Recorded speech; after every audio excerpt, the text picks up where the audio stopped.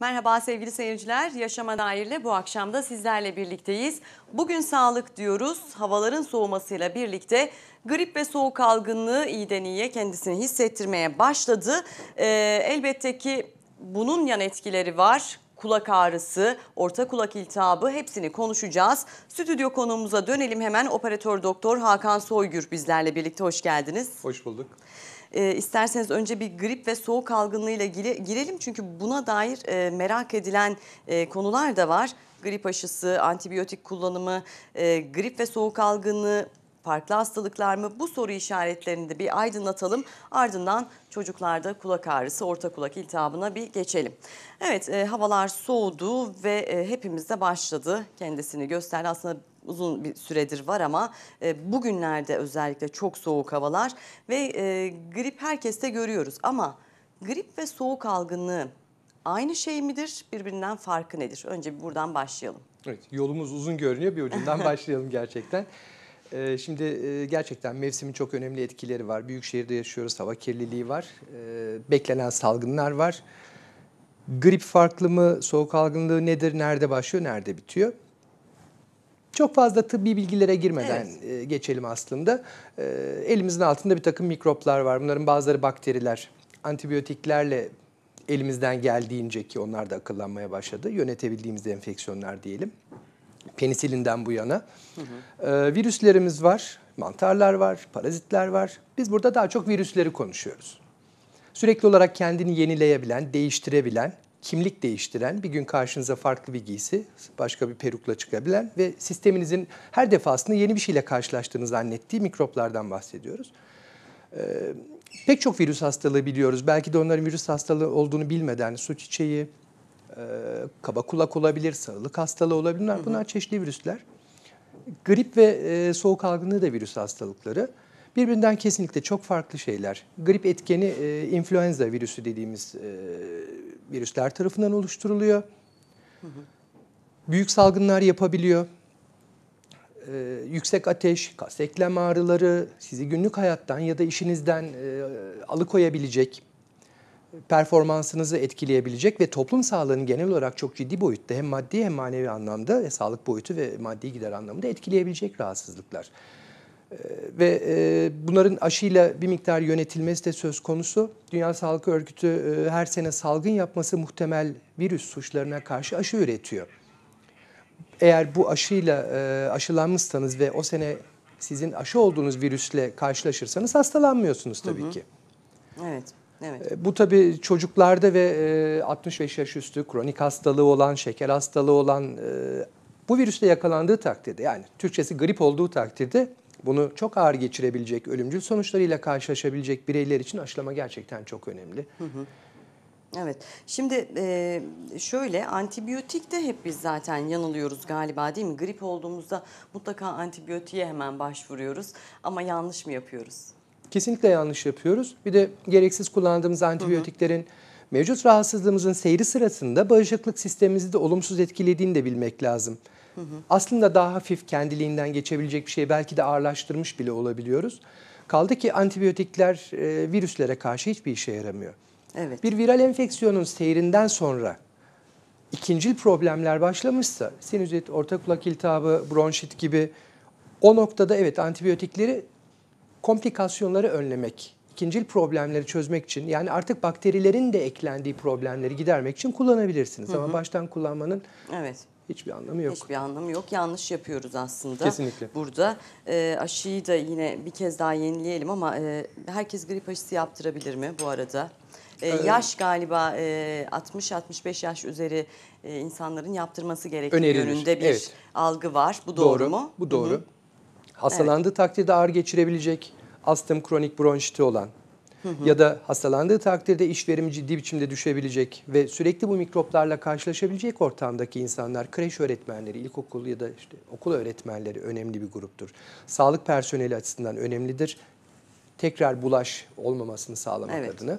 Ama herkes mutlaka yaptırmalı mı? Tabii ki böyle bir şey yok. Genç, sağlıklı, bağışıklık sistemi güçlü bir insan da yaptırmasa da olur.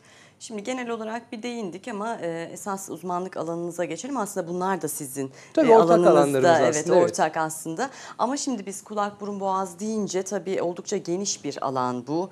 E, hepsi birbirine bağlı gidiyor. E, ama giderek de galiba konular da derinleştiği için e, sizler de alanlarınızda ayrıldınız e, doğal olarak. Doğru. E, kulak burun boğaz olarak. E, şimdi genel adı e, hepimiz üst solunum yolu enfeksiyonu olarak algılarız e, bu bölümde yaşadığımız sorunları ama e, kulak, e, burun, kulak, boğaz, burun dediğimiz zaman kulakla bir başlayalım. En çok karşılaşılan, benim de çocuğum var, orta kulak iltihabı. Kaç yaşında? 7 yaşında özellikle çocuklarda yaygın olan, e, en güncel olan konu diyelim aslında orta kulak iltihabı. Şimdi niçin e, çocuklarda sık görüyoruz? Biz e, yaş 2-7 yaş diye biliyorum ama e, oluşum aşamasını. Doğru. E, nasıl oluşuyor? Nasıl oluşuyor? Ee, anneler çocuklarına bakamıyorlar. Tamamen şaka. Çünkü bütün anneler kendini suçlamaya çok hazırdır. Kulağına su mu kaçırdım? Bir şey yanlış mı yaptım? Hele ki ilk çocuksa paniğe kapılma, etraftan Evet, aldığı bir takım çok özellikle. çok değişik evet e, yanlış bilgilerle e, anne kendini suçlamaya çok hazırdır. Orta kulak iltihabı yetişkinlerde de olur ama çocuklarda daha fazla olur. Çünkü onların bize göre bir takım olumsuz altyapı faktörleri var. Bu e, görüntü kalabilir ekranda. Evet, bu kalsın Ee, bu görüntü. Kabaca anlaşılabilir bir şey. Çok karmaşaya girilmemiş durumda. Ee, kulak kepçesine itibaren kulak kanalı karşıda gördüğümüz kulak zarı, zarın arkasında orta kulak diye bir odacığımız var. İçinde hava olması gereken yer. İç kulak kısmına hiç girmiyoruz. Bu odanın bir hava giriş çıkış yolu var. Adı Öztaki borusu. Bunun iyi çalışmadığı anları aslında hepimiz biliyoruz. Uçak yolculuğu, otobüs yolculuğu, ani irtifa, rakım değişikliklerinde bir tıkanı verir kulağınız. Bir esnersiniz, sakız çiğnersiniz ya da burnunuzu kapatıp tıbbi adıyla valsalva manevrası e, uçuş ya da dalışla ilgilenenler çok iyi bilirler. Bir basınç eşitlediğiniz anda kulak normale dönecektir. Günlük hayatta da kulağın zaten her 2-3 yutkunmada bir açılarak içeri hava vermesi hem basıncı dengeler hem içerideki oksijen eksiğini tekrar tamamlamış olur. Peki e, tıkandı kulağınız, bir nezle oldunuz, grip oldunuz, öztek kanalınız tıkandı. Çocuksanız zaten alerjik zemininiz var. Muhtemelen Ama biraz da geniz etiniz var. değil mi? Anlamıyorlardır da mutlaka hani çocuklarda. e, Çocuklar bunu çok ifade Evet. etmezler. Onlar ağrımadıkça bir şey söylemiyorlar. Ama çocuk olsun, yetişkin olsun senaryo aynı aslında. Olay bir üst solunum yolu enfeksiyonu seyri veya sonrası sırasında öztek kanalının kalıcı olarak tıkanması. Bu andan itibaren orta kulakta hızlı iltihap birikiyorsa ağrılı bir süreç. Evet. İnadına da aslında yatış pozisyonuyla da bağlantılı olduğu için gece ya da hafta sonu tutar. Doktora ulaşmanın zor Genelde olduğu gece anlardır. tutuyor. evet o yatış pozisyonuyla ilgili aslında. Ee, bazen de olay çok yavaş seyreder. Ee, eğer iki kulakta birden olursa aile ya da öğretmenleri bunu işitme kaybıyla fark edebilir. Ya televizyon daha çok açıyor. Hı demeye başladı. Konuşurken gözümün içine bakıyor, tekrarlatıyor gibi. O o da bir orta kulak iltihabı ama bazen ağrısız olabiliyor bu şekliyle. E, bu aslında bağışıklık sisteminden mi kaynaklı bir durum oluyor çocuklarda? Değil.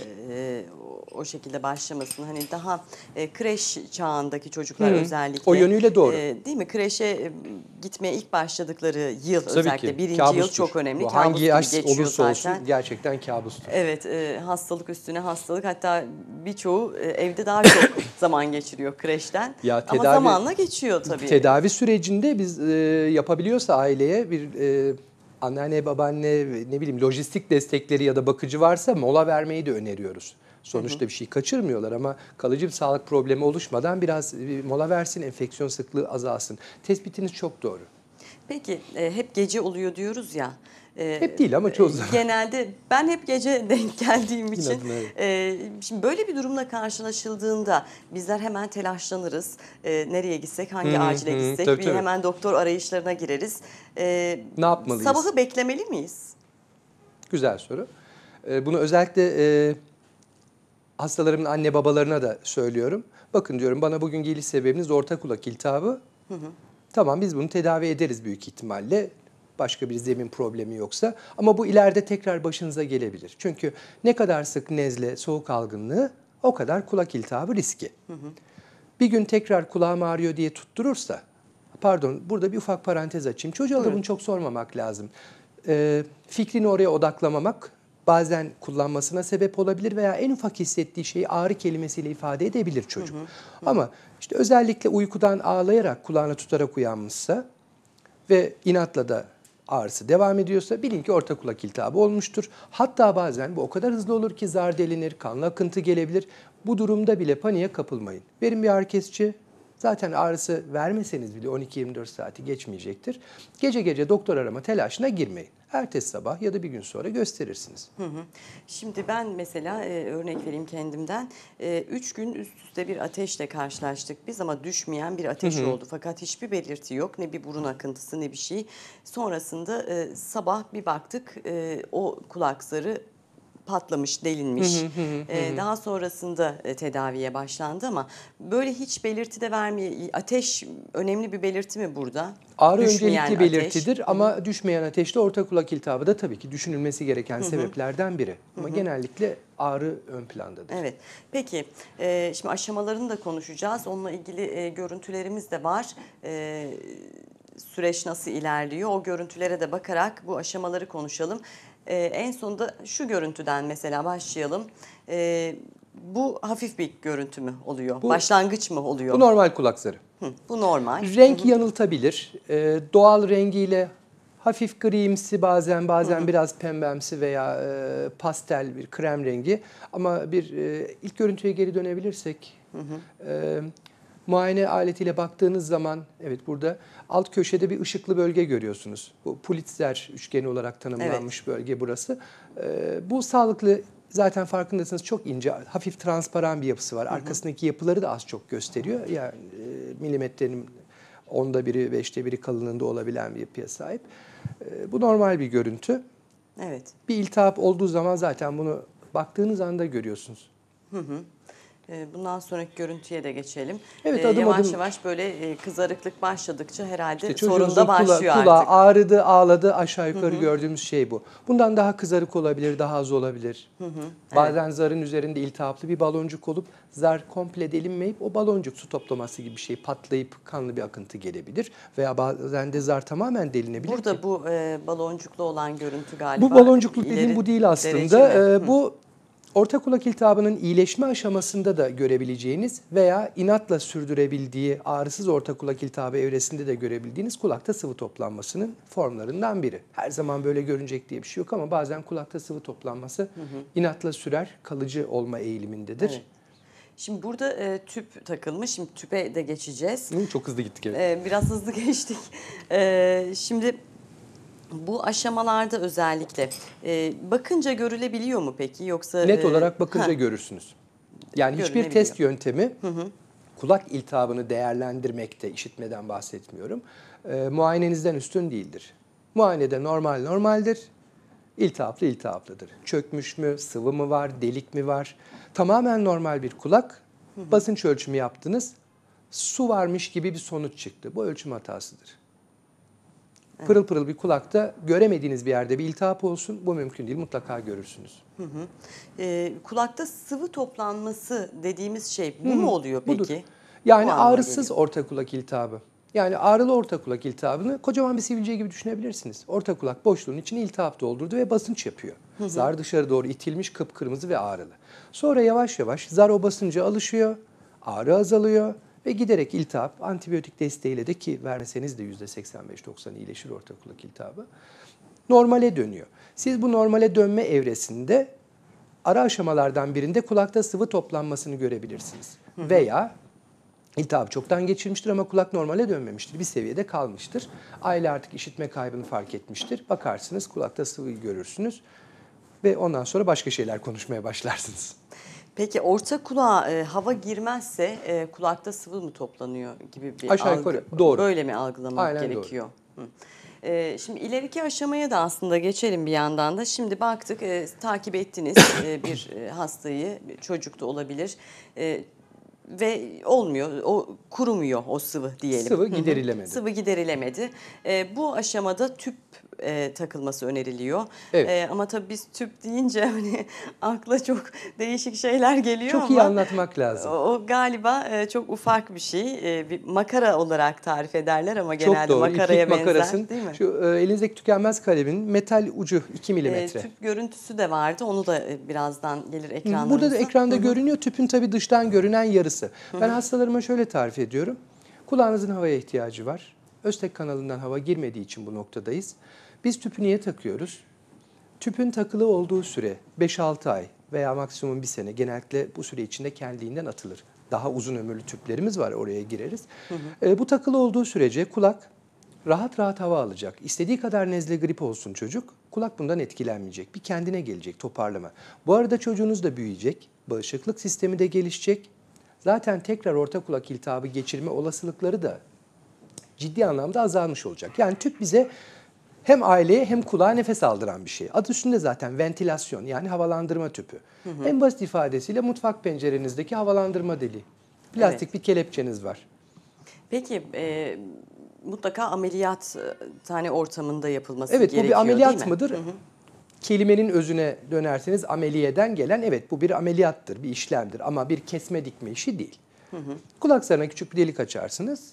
Oradan o an için temizleyebildiğiniz kadarını temizlersiniz ama amacınız bu değildir aslında. Amacınız orada kalıcı bir delik oluşturmak. Peki bu tüp takıldıktan sonraki aşamada nelere dikkat etmek gerekiyor? Özellikle e, böyle evhamlı anneler bu soruyu soruyorlardır. Soğuktan etkilenir mi? Zıplayınca bir şey olur mu? Sağırlığa sebep olur mu?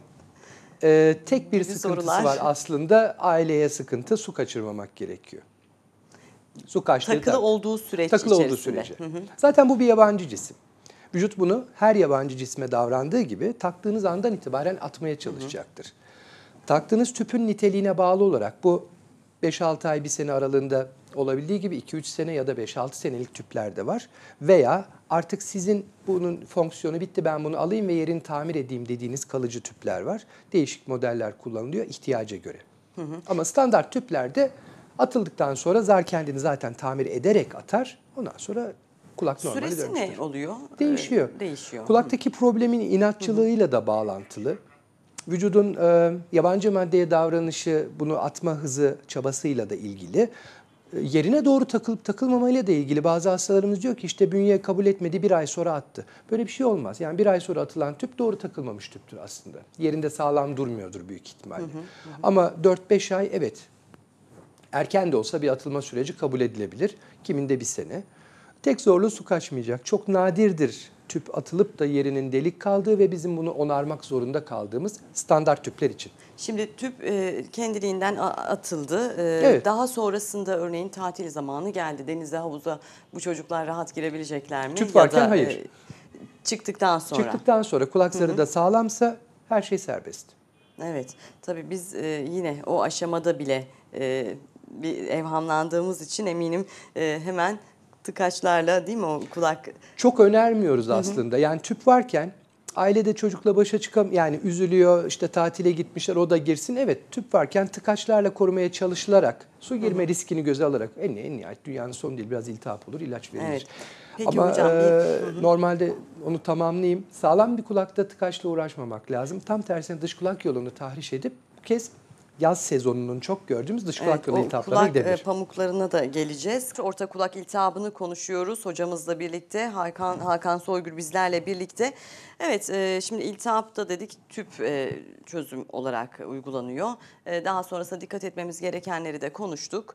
E, Tekrarlar mı? Hemen onu da soralım. Tüp takıldığı halde yine o e, sıvı boşaltıldığı halde orada tekrarlar mı? Süresi ne olabilir? Tekrarlama olasılığı şüphesiz var ve biz bunu bazı özel durumlarda e, baştan öngörerek daha uzun ömürlü tüpü ilk e, kademede takabiliriz. Örnek doğuştan yarık damak, yarık dudak, yüz kemik gelişim bozukluğu olan çocuklarda özdeki kanallarının da zaten yapısının iyi olmayacağını öngörerek zarın da durum ile e, bakarak direkt kalıcı tüpe Yani geçebiliriz. orayla e, dediğiniz şekilde bağlantı var yani. Tabii tabii yüz kemiklerinin gelişimiyle çok bağlantılı östek kanalının yapısı.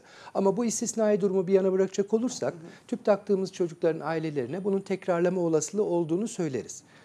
Ee, tekrarladığı takdirde bu tekrarlamanın ortaya çıkış süresine bakarak yine aynı tür tüpü veya daha uzun ömürlü tüpe geçebiliriz ikinci aşamada. Burada bundan kaçınmamak lazım. Şüphesiz anestezi alması, e, bunun bir adının ameliyat olması aile açısından hoş bir duygu değil. Ama ihmal edildiğinde gidebileceği noktaları düşünürseniz ilaç tedavisinin tükendiği yerde mutlaka adı- atılması gereken bir adımdır kulak tüpü. Evet, ilk İleride etapta şimdi yok. hani tüp tedavisini öneriyoruz denildiği an bir e, telaş yaratılıyor aslında ama Tabii. galiba uygulanması gereken de e, son aşama diyelim aslında değil mi? İşte hep son aşama sonunda. mıdır? Ee, ilaçla tükendiğiniz yerde yapılması gereken bir şey. Çünkü sadece kulağa olabilecek zararları değil, çocuğun akademik gelişim, sözel ifade, bilişsel gelişimi açısından işitmenin çok önemli olduğu bir dönemi %25-35 desibellik bir kayıpla, kalıcı değildir ama tüp takıldığı anda düzelir. Öyle bir kayıpla geçirmesi e, sosyal iletişim becerileri ve sözlerleşme açısından çok ciddi sıkıntılar doğuracaktır. Hı hı, evet. Şimdi e, tabii hocam sorular da geliyor ama e, bu halk arasında hani alternatif tıpta biz e, çok başarılıyızdır bu konularda. Örneğin bir izleyicimiz demiş ki kulak çınlamasına soğan diyorlar doğru mu? E, bir izleyicimiz de demiş ki e, kulak iltihabına, kulak içindeki iltihaba yine şey, soğan, sarımsak diye e, Ya belirtmişler. bunları zaman zaman Bunlar biz de hep yaşıyoruz. duyduğunuz şeyler Duyduğumuz gibi kulaktan e, soğanın cücüğünü ya da sarımsak parçaları çıkartmışlığımız var tabii ki. Şimdi gerçekten soğan, sarımsak e, doğal antibiyotik yapıları var ama ilaç dediğiniz şey de bir takım bitkilerden her zaman olmasa da bitkilerden etkin maddelerin ayrıştırılması, konsantre edilmesi, ölçümlenerek kullanılması ile elde edilen şeyler. Yoksa sarımsağın özellikle gerçekten antibiyotik etkisi var ama kulağınıza sokarak ya da damlatarak değil. Bunu ağız yolundan Yani alırsanız. bu feci durumlara da yol açabilir aslında. Ee, Özellikle kulak zarı delindiyse örneğin Aynen değil çok mi? doğru söylüyorsunuz. Ee, Bir kere e, inanılmaz bir ağrı kaynağı olacaktır ve tahriş unsuru olacaktır. Tedavi sürecinizi geciktirebilir. Kesinlikle önerdiğimiz bir şey değil. Hı hı. Evet. Şimdi tabii bununla birlikte e, ilgisi var mı bilemiyorum ama onu da size soralım hemen. E, geniz etine de bir geçelim. E, kısaca ona da Evet. bir değinelim. E, genellikle e, horlamayı da tetikleyen bir şey midir? Geniz eti birlikte midir? Evet geniz E, eti nedir hani? hı hı, e, evet. Buradan bir başlayalım ve e, orta kulak iltihabıyla da alakası var mı? Oldukça. Şimdi e, konuya başlarken e, malzememiz dedik çocuk. Bir yetişkine göre farklı unsurları var. Enfeksiyonlarla daha yeni tanışıyor. Hele ki kreşe başlamışsa her gün yeni bir mikrop, hafta 7 Evet. gün 8 hastalar. Anneler çok iyi bilir ve velilerin ellerinde poşetler antibiyotik ilaçlarla gidilir. Ee, sık enfeksiyon, yine 2-7 yaş döneminin alerjik özelliği, bağışıklık sisteminin pek çok maddeye aşırı alerjiyle tepki vermesi, kulak anatomilerinin, östeki kanallarının yapısının henüz çok gelişmemiş olması, daha yatay duruşlu, daha kısa enfeksiyon, daha kolay içeriği alabilir yapıda olması ve geniz eti. Hı hı, evet. Burada e, atladığımız bir şey oldu. Biraz önce zaten e, konuşmuştuk reklama girmeden önce kulak e, tıkaçları ile ilgili ama kulak e, temizlemeyi de aslında bir soralım size. O kulak çöplerinin Evet. e, uygulama alanı nasıl olmalı?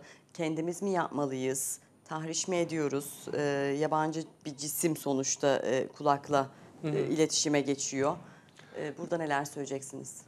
Yani çocuklarda kesinlikle ve kesinlikle kullanılmamalı. Zaten kulak kanalları çok dar.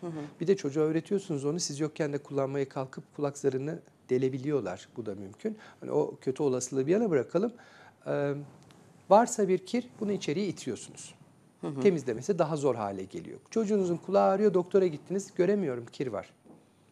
Belki kendiliğinden de birikecek ama dokunulmamış bir kulakta bunu temizlemek çok daha kolay. Ama kanalın dibine doğru zara kadar itilmiş bir kiri temizlemeniz gerçekten sıkıntıdır. Hele ki bir çocukta e, risklidir de, zordur da. Onun için Hiçbir şey yapmamamız mı gerekiyor? Banyodan sonra kulak kepçesindeki kıvrımları pamuklu çöple veya bir havluyla temizleyebilirsiniz. Veya kulak girişini bir parça pamukla pamuğun yettiği mesafeye kadar temizleyebilirsiniz. Pamuklu çöpü içeri sokmayı asla önermiyoruz. Şimdi mesela bir izleyicimiz demiş ki denize girerken kulağım tıkandı. Sebebi işte su mu mikrop mu? Büyük Ee, bunun ihtimalle kur, çaresi şey, nedir kiri diye. ıslanınca şişmiş ya da su girip çıkamamıştır. Yani kulak Burada e, şunu yoksa. mu önermek gerekiyor? Aslında baştan e, böyle bir yöntem mi izlemeliyiz? Tatile gideceğiz. Bir görünüp hekime e, örneğin nedir durumum Yani, deyip mi gitmek Ee, gerekiyor? Gerçekten hani sanki bu sohbeti önceden kopyalaşmışız gibi oldu. Ben e, kulak kiri problemi olan hastalarıma çok net söylüyorum. Tatil öncesi lütfen ben ya da başka biri gidin temizletin. Böylece tatilde sıkıntı yaşamazsınız. Bir de su kaçtı diye peçete, pamuklu çöp, parmağınız, gözlük sapı, anahtar, kıl, tüy kurcalamayın. Tatiliniz Evet. zehir olur. Evet. Ee, işte biraz ihmalkarız ne yazık ki birçok konuda olduğu gibi. Ee, ondan sonra da böyle diyoruz ki denize girerken kulağıma su kaçtı. Öyle olmaması gerekiyor aslında. Aslında su girdiği gibi çıkar. Kulak zarınız sağlamsa, kanalda da kir yoksa öyle ya insanlar da dalıyor, yüzüyor. Hani ömürleri böyle geçiyor. Evet, evet. Ee, peki şimdi e, değişiyor konumuz ama yine aynı alanda gidiyoruz neticede. Ee, geniz eti e, demiştik biraz önce. Bir de bademcik iltihaplanması da yine e, birlikte değil mi? E, Ya sistemin hepsi bir parçası Evet, tabii. Ee, aslında hepsini konuşmak için muhtemelen süremiz de çok Evet. yeterli olmayacak. Bir şeyler havada kalacağına kulakla daha bağlantılı olduğu için geniz eti üzerinden biraz Tamam. gidebiliriz diye düşünüyorum. Ee, bize çok sık gelen bir soru. Dediler ki çocuğumun geniz eti varmış. Kesinlikle var diyorum. Çünkü vücudun bir parçası. Alınmadığı sürece her çocuğun geniz eti var. Ee, vücudun dışı açılan boşluklarında mutlaka lenf bezleri, savunma sistemleri olarak yer alır. Tıbbi ismiyle Valdeyer halkası dediğimiz işte bademcikler, geniz eti, östaki boruların ağzındaki lenf dokuları değil, kökü bademciği derken bu bir halka oluşturuyor. Bu halkanın burnun en arka tarafındaki parçası geniz eti. Peki e, neden oluşuyor? Yani biz hep deriz ya işte soğuk yedik, soğuk bir şeyler içtik. Onun için bu iltihaplanma oluşuyor. Aslında e, buradan başlayan bir şey mi oluşuyor? O e, orta kulak iltihabından bahsettik ya biraz önce. Orta kulak iltihabı sonuç. Ha, bir sonuç. şeylere sebep olmuyor. Nezlenin veya nezle, alerji, genizeti vesaire toplamının bir sonucu aslında orta kulak iltihabı. Orta kulak iltihabı kendi içerisinde olumsuz ilerleyebilir. Ama sistemin diğer kısımlarına bir zarar yok. Genizetin burada şöyle üstünden geçelim.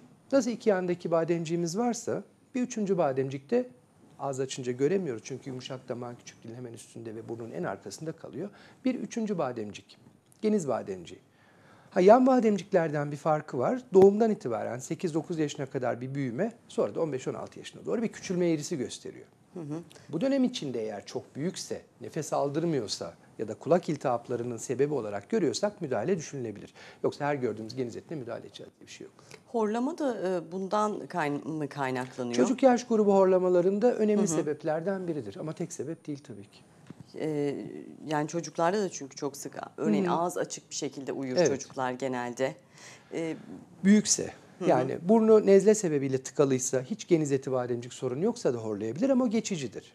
Ama çocuğun e, özellikle de kreşe başlamasıyla beraber inatçı bir şekilde ağız açık uyumaya, daha sonra horlama ve horlamanın da ileri evrelerinde nefes tutmaları, apneler göstermeye başlaması e, geniz etinden mutlaka şüphelendirmeli ve araştırılmalı. Çünkü bu izin verilecek bir durum değil. Evet. İş o noktaya varmışsa e, sağlık Genelde başlamıştır. şunu da söylerler, e, ev ortamının yeteri kadar nemlenmediğini, e, özellikle çocukların uyuduğu alanda nemlendirici aletlerin hava, soğuk Özellikle hava, sıcak soğuk hava derler, öneriyoruz, soğuk doğru. buhar derler. Bu nasıl olmalı, nasıl sağlamalıyız bu ortamı? Derecesi var mı, nasıl oluyor? Ya tabii ki en ideali ortamda bir nem ölçerinizin olmasıdır. Ankara zaten banko çok kuru ve kış aylarında kaloriferlerde yandığı için e, iyice kuru hale geliyor. Bunu amacımız cam çerçeve duvar terleyecek kadar buharlandırmak değil tabii ki. Bu kez çünkü aşırı nem ortamında küf mantarlarının yerleşmesi ve alerjiyi tetiklemesi mümkün. Ama bu kadar kuruluğa da izin vermeyip en azından e, nemi normal neme yaklaştırmak. Soğuk buhar ya da medikal amaçlı buhar dediğimiz şey bu. E, bunlardan en uygun olanı ben şöyle öneriyorum. E, çocuğun yattığı odada sabaha kadar ama hafif ayarda çalışsın. Evet. Uyku konforunu kalitesini çok artıracaktır. Ee, şimdi genelde hepimiz evhamlı olduğumuz için aslında e, hastalık doğal bir süreç. Özellikle kreşe başlayan çocuklar açısından. Ee, bazen de derler ki ne kadar çok hastalanırsa aslında o kadar öksürük özellikle çok öksürmenin de iyi olduğunu söylerler. Böyle bir şey var mı? Hani Tabii yok, vücuttan bir atıyor şey. muyuz yani biz Yani öksürük öksürerek? e, tek e, görevi icabı hastayken akciğerlerin temizlenmesi normal sağlıklı bireyde de işte akciğerlere kadar inmiş partiküllerin balgamla beraber atılması. Aman çok hapşırmak iyidir, çok öksürmek iyidir. Hayır tabii ki böyle bir şey yok. Hani günlük normal fizyolojisi dışındakiler zaten bir probleme bağlıdır. Bu da çoğu zaman bir enfeksiyondur. Hani enfeksiyon süreci sırasında ister istemez öksürürsünüz. Bu bir refleks mekanizma. Ama bir taraftan da bağışıklık güçleniyor mu? Ee, Öksürerek değil, öksürerek hastalanarak değil ama tabii. hastalan yani mücadele Şüphesiz. verdiği için değil mi? Ve zaten e, şu da önerilir. E, çocuğu hırpalamayacak ateşe de biraz izin vermek lazım. Yani 38'i Ha, geçmedikçe dereceyi hemen soracaktım. Evet, ateş düşürücüye davranmamak, bağışıklık sisteminin kendini geliştirmesi açısından ateş önemli e, refleks mekanizmalardan biri gerçekten. Hep derler ki 38'in üzerinde Evet, e, ateş düşürücü. yarar var. Evet. E, ki herhalde burada da bir e, savaş veriyor vücut değil Tabii mi? ki ve bir şeyler öğreniyor. Öğrendikçe güçleniyor ki aynı mikropla tekrar karşılaştığında artık etkilenmesin. Hı hı, evet. Evet hocam. Ee, şimdi diğer konulara geçmiyorum artık çünkü e, bir sonraki programımızda sizinle daha e, programlar da yapacağız. E, o zaman elbette ki gireriz diğer konulara ama e, bu günlerde neler yapsın veliler, anneler, babalar diyelim koruma amaçlı e, öyle bitirelim. Olur çocuk odaklı gidiyoruz. evet. Ee, şüphesiz ki mevsimine uygun beslenme ve giyinmeden bahsetmek lazım. Ee, bunun dışında e, kreş ortamına yeni başlayan çocuklar için aile içinde uygunsa bu aylarda biraz 3-5 günlük bir haftalık molalar çok işlerine yarayacaktır. Zaten anneler de bunu çok ifade ederler. İşte anneanneye bıraktık bir haftada bir kendine geldi çocuk. Ee, Hangi yaşta olursa olsun bu kalabalık ortamlarda bunları yaşayacaklar. Ufak tefek molalarla e, kalıcı sonuçlara meydan vermeden gitmekte yarar var. Tabii çünkü e, çok sağlıklı bile olsa okuldan e, öyle gelmiyor ama gönderdiğimiz gibi Yok öyle, gelmiyor. öyle, öyle olmuyor maalesef. Oradaki mikrop çeşitliliği hiçbir yerde yok ama kaçmak da mümkün değil. Sosyalleşme adına da e, ailenin de anne baba çalışıyorsa e, gerekliği adına kaçınılmaz oluyor bazen. Evet, evet. Maalesef böyle bulaşa bulaşa evimize geliyor ve dolayısıyla bizlere dahi bulaşıyor. Aa, tabii ki o evde bir ring yapar zaten. Evet, evet. Peki çok teşekkür ediyoruz ee, yayınımıza katıldığınız için. Bundan sonra da diğer bölümleri, e, üst solunum yolu enfeksiyonu bitmek bilmiyor konuşarak. Kulakla Bitmez. başladık. Ee, diğer e, geniz, geniz eti ameliyatına kadar gideceğiz bir sonraki programımızda da. Çok sağ olun yayınımıza Ben teşekkür katıldığınız ediyorum. için. Evet sevgili seyirciler yaşama dair de aslında hepimizi ilgilendiren e, konuyu konuştuk. Çocukları özellikle ilgilendiren orta kulak iltihabının aşamalarını da konuştuk. Neler yapmamız gerektiğini de söyledi hocamız. Operatör doktor Hakan Soygür bizlerle birlikte oldu. Burada noktalayalım yayınımızı. Saat başında ana haber bültenimizde yaşanan tüm gelişmeleri izleyebilirsiniz. İyi akşamlar.